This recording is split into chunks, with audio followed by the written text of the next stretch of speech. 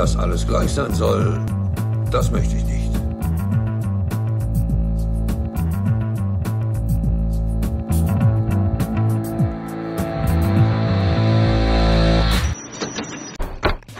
Hallo, hallo. Kanale Gleichsatz ist äh, wieder mal am Werk äh, mit der Folge 32 in der Philosophen-Trilogie Abstraktionen, Nominalismus, Sprachkritik. Es geht weiter. Ich wiederhole nochmal die Nummer 166, weil sich das, äh, weil das nicht oft genug wiederholt werden kann, äh, um was es hier geht. Eine grundsätzliche Abkehr von den bisher objektivistischen äh, Verfahrensweisen und die äußert sich dadurch, äh, dass äh, das Wahrnehmen als Urteilen begriffen wird und damit ein, äh, äh, aus der Objektivität eine Subjektivität wird. Und diesen Umstand, diese Erkenntnis bringt Fritz Mautner in seinem Wörterbuch der Philosophie zum Ausdruck, aber nicht nur er, an den verschiedensten äh, Stellen in der Geistesgeschichte, Philosophiegeschichte der Menschheit ist diese Erkenntnis äh, durchgedrungen, aber leider immer nur in der Minderheit und von äh, den weit, am weitest verbreiteten Ansichten äh, an den Rand gedrängt und immer ums Überleben kämpfen müssen, um nicht in, auf alle Zeiten in der Versenkung zu verschwinden, hat es immer wieder diese Bestrebungen gegeben. Und hier äh, sagt Mautner, dass schon Campanella, und es ist 16. Jahrhundert, soweit ich weiß, äh, schon weiß, dass mit der Wahrnehmung ein Urteilsakt verbunden ist und Descartes, das ist äh, 17. Jahrhundert, hat das erkenntnistheoretische Problem begriffen, dass Wahrnehmung Verstandesarbeit ist und das äh, erkenntnistheoretische Problem, dass ähm, die Begriffsbildung nicht einfach so aus dem heiteren Himmel äh, dadurch äh, entsteht, dass man Begriffe mit Dingen identifiziert und das dann Wahrnehmung nennt, sondern die Begriffsbildung ist nicht anders äh, denkbar als durch ähm, von Interessen gelenkt, von Intentionen gesteuert und somit ein äh, eine Angelegenheit des äh, Subjekts und seiner Subjektivität, seiner Besonderheit des Bewusstseins, eine logisch, äh, logische Allgemeingültigkeit in Form einer Objektivität äh, gibt es nicht, ist eine leere Behauptung derjenigen, äh, die auf Allgemeinheit setzen und das sind in der Regel die Mächtigen. Denn Allgemeinheit oder die Vertretung von Allgemeinheit, die äh, legitimiert macht und deswegen darf diese Allgemeinheit nicht äh, angegriffen werden. So, und jetzt kann es losgehen mit der regulären Nummer 167 in der 32. Folge. Hier heißt es, Sinnesdaten können nicht getrennt äh, werden vom Prozess ihrer Beschreibung. Also äh, hier äh, wird äh, sozusagen behauptet, dass ähm, eine Empfindung immer schon ein, eine begriffliche Empfindung ist, weil um bewusst zu werden, muss sie im, im äh, sie oder, oder er oder es die Empfindung ähm, konsequent durchgegendert äh, um im Bewusstsein, dem Bewusstsein äh, greifbar zu sein, äh, ist eine Vergegenständlichung äh, erforderlich, äh, eine Verdinglichung, die Abgrenzung eines, äh, eines Dings von seiner Umgebung. Und das ist jetzt die große Preisfrage, ob, das, ob es eine äh, nicht begriffliche sowas wie eine Anschauung gibt, wie das noch Kant getrennt hat, dass die Anschauung äh, als äh, äh, Vorstufe der Wahrnehmung sozusagen äh, nicht begrifflich ist und äh, dann erst äh, begrifflich wird, wie das geschieht. Das ist bei Kant auch nicht klar. Der hat nur festgestellt, dass eine Anschauung ohne Begriff leer ist und ein Begriff ohne Anschauung, äh, ein Begriff ohne Anschauung leer. Und eine Anschauung und ohne Begriff äh, auch leer. Also äh, es gibt kein, äh, es ist äh, die Anschauung ist nicht äh, denkbar ohne Begriff und der Begriff ist äh, auch nicht denkbar ohne Anschauung, das heißt ohne, ohne das äh, reale äh, Gegenstück äh, zum Begriff. Aber hier in diesem Punkt ähm, heißt es, dass die Sinnesdaten nicht getrennt werden vom Prozess ihrer Beschreibung, also äh, die, die sogenannte unmittelbare Wahrnehmung in Form von Sinnesdaten ist schon begrifflich. Und das äh, passiert bei den meisten Menschen, den äh, sogenannten naiven Gemütern, wie sie in der äh, Geschichte der Erkenntnistheorie gen genannt werden. Und der naive Realismus da ist das so, äh, dass automatisch äh, Worte mit Dingen identifiziert werden, so wie man das gelernt hat als Kind. Das ist ein Schaf, das ist ein Hund, das ist äh, der Mond. Und die Sonne oder, oder der Sonne, äh, wie es, oder es, äh, das Sonne, wie es richtigerweise heißt. Gut, dann ähm, der nächste Punkt, wir könnten keine Begriffe bilden, wenn wir nicht ähnliche Empfindungen für gleiche Empfindungen halten würden.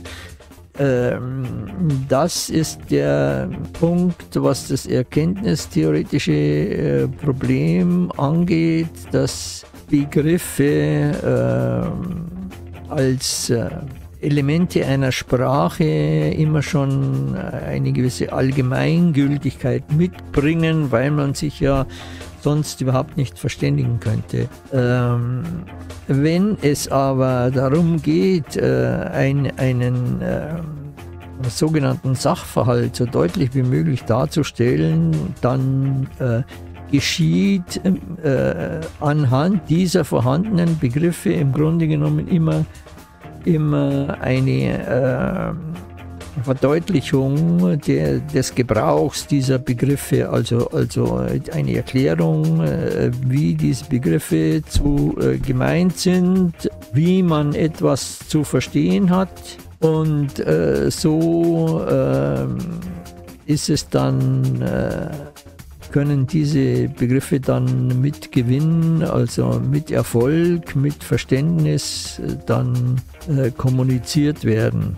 Aber es handelt sich auch immer nur um eine Angleichung, um ein äh, genaueres, das äh, äh, durch eine umständliche oder detaillierte Beschreibung und es ist immer eine Frage der Zwecksetzung, wie genau man etwas haben will um dann ähm, zu beurteilen, ob jetzt dieses Maß an äh, äh, Detailtreue noch zweckdienlich ist oder überflüssig, äh, weil man äh, noch äh, äh, noch mehr Einzelheiten über eine Angelegenheit gar nicht wissen muss für den Zweck, den es zu erfüllen gilt. Das ist immer eine, eine äh, subjektive, individuelle Zwecksetzung, die auch, äh, da lässt sich auch nichts äh, in einem äh, erkenntnismäßigen Sinn ver, verobjektivieren.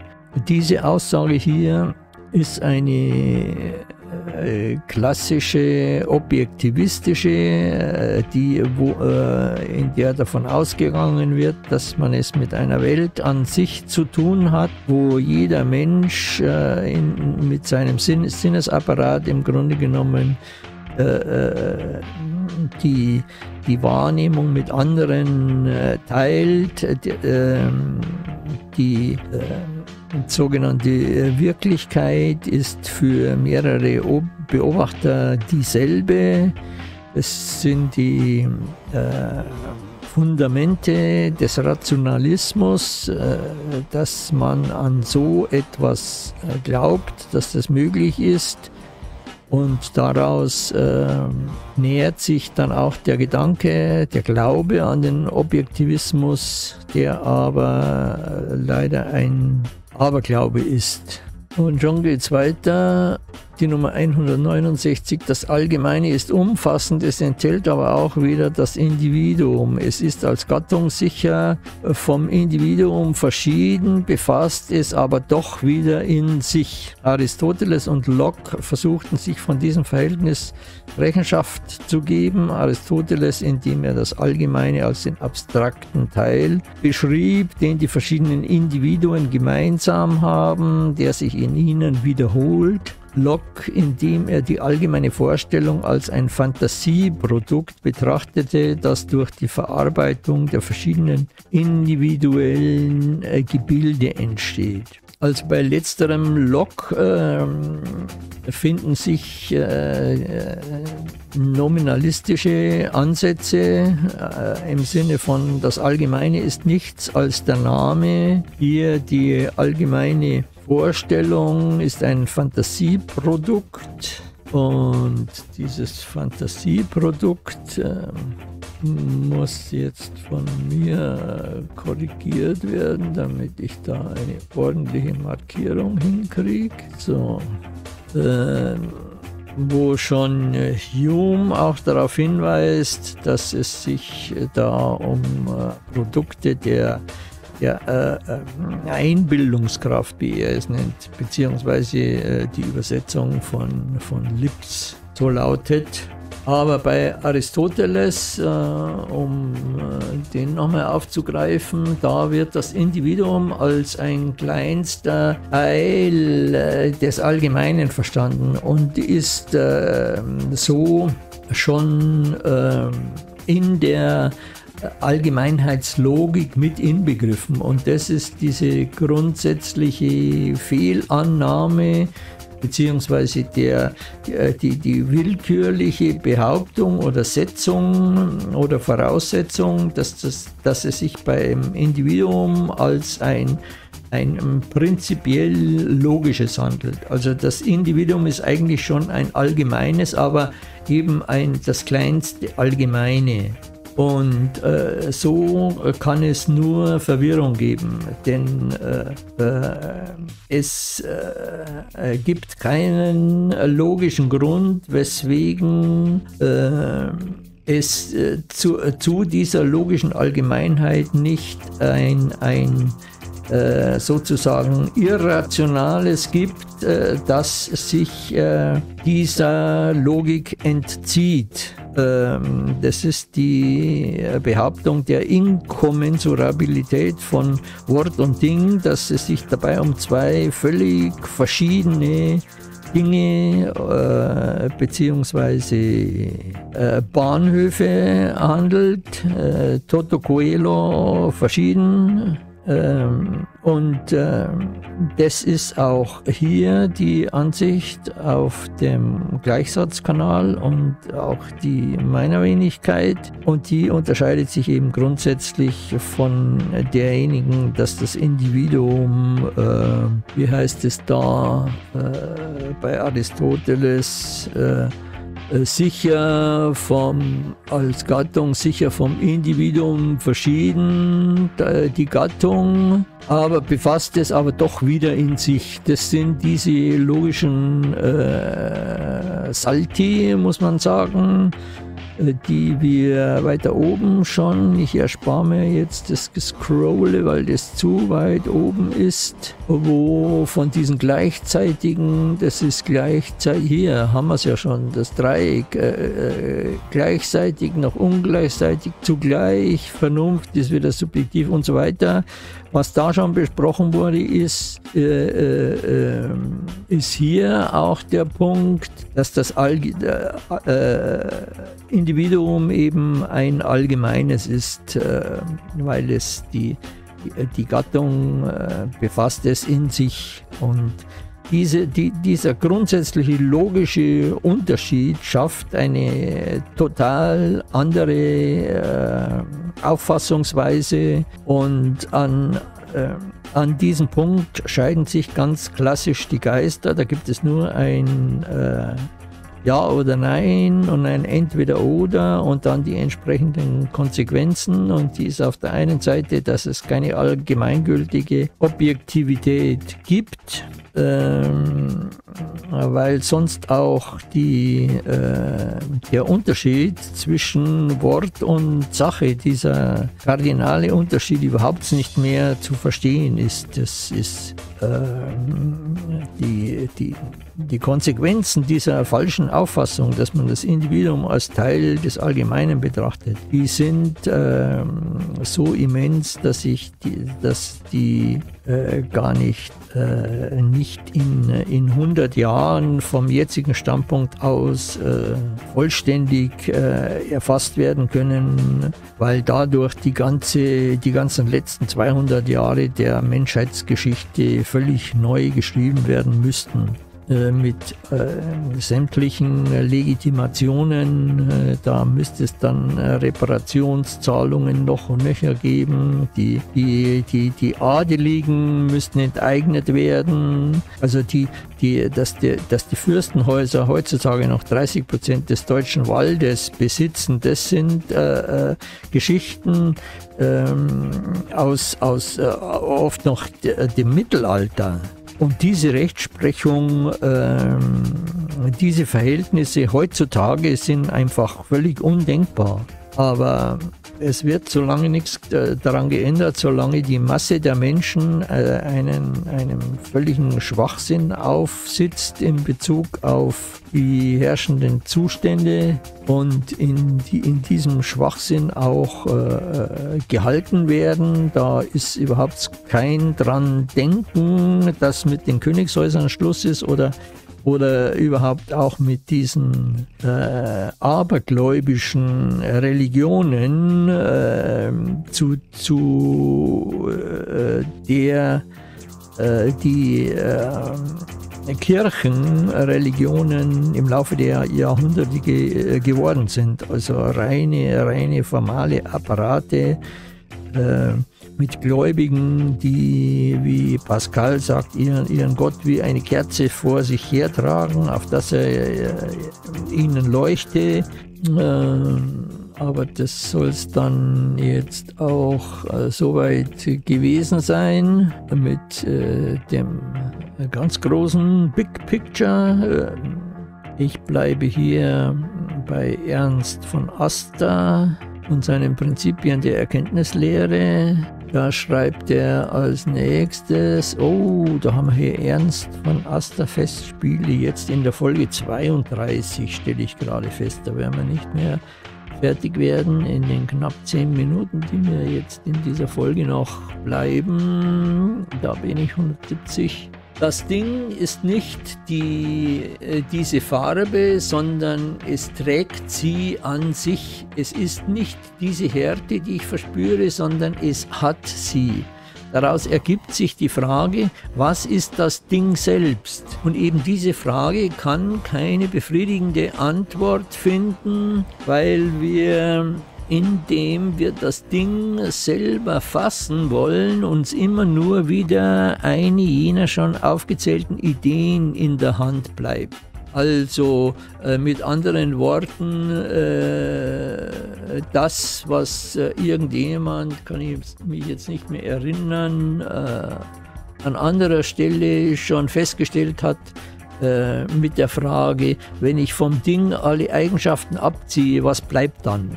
Dann bleibt nichts mehr. Also was ist das Ding jetzt, abgesehen von seinen Eigenschaften? Eine Abstraktion, eine Zusammenfassung die aller dieser Merkmale der praktischen Handhabe Wegen äh, gibt es ein Wort, um nicht immer wieder zu erklären, erklären zu müssen, alle diese Eigenschaften.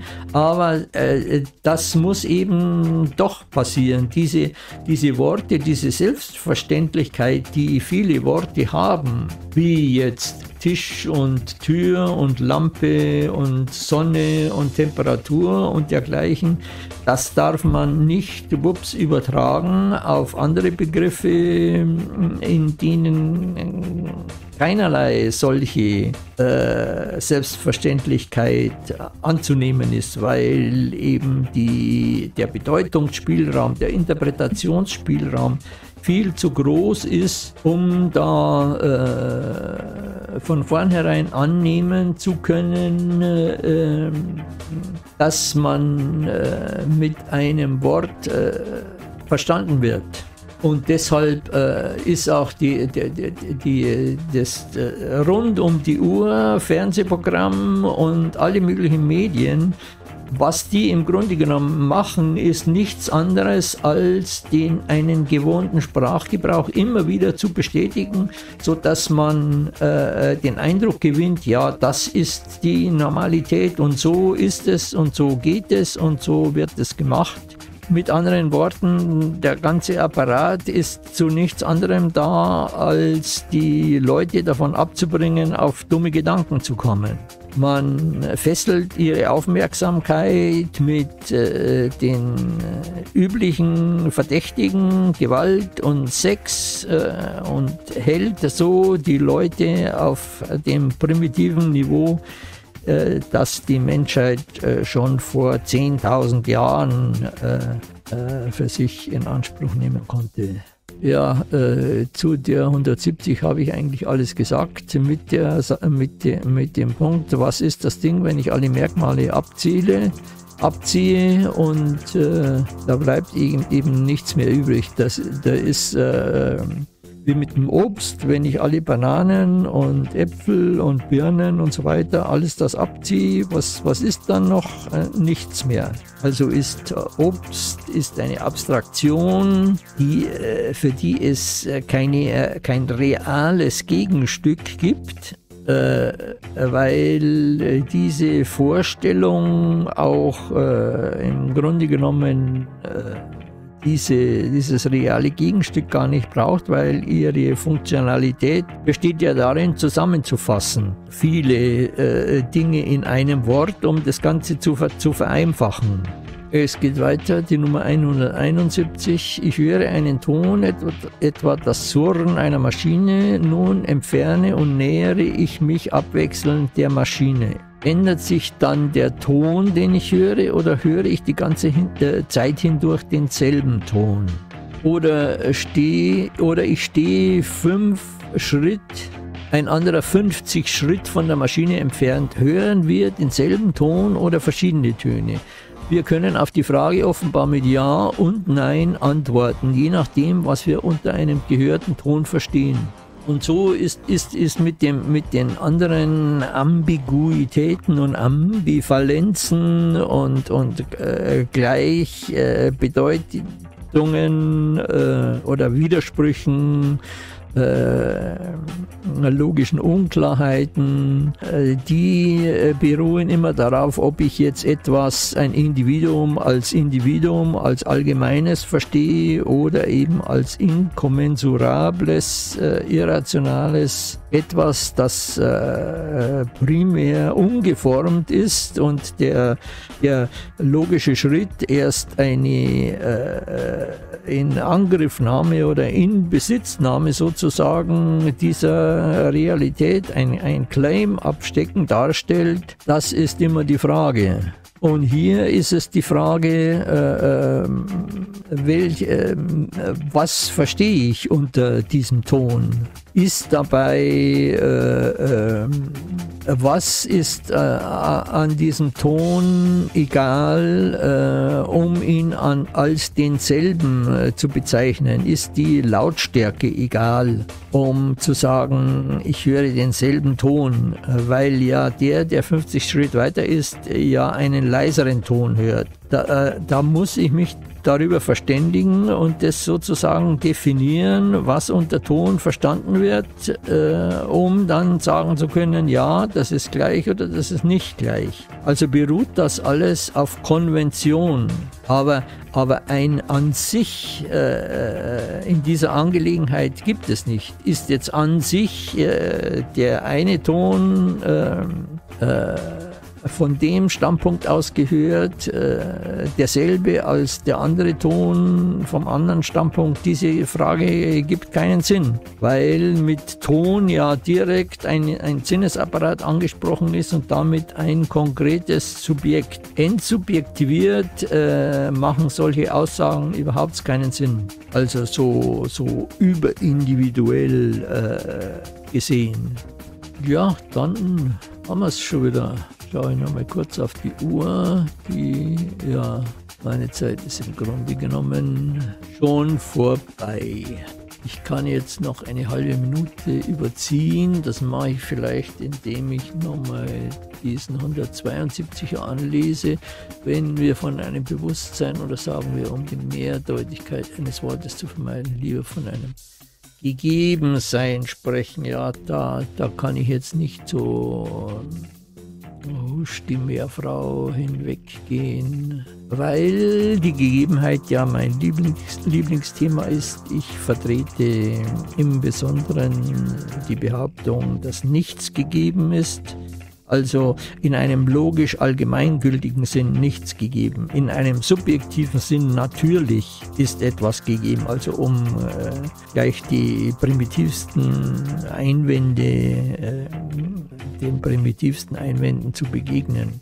Aber das war's jetzt. Das war's mit der Nummer 2 und Folge 32 in der munteren Philosophen-Trilogie äh, Abstraktionen, Nominalismus, Sprachkritik. Ähm, ich verabschiede mich äh, mit einem Rums am, am, am Popschutz und einem äh, Pulp Fiction Peace und Out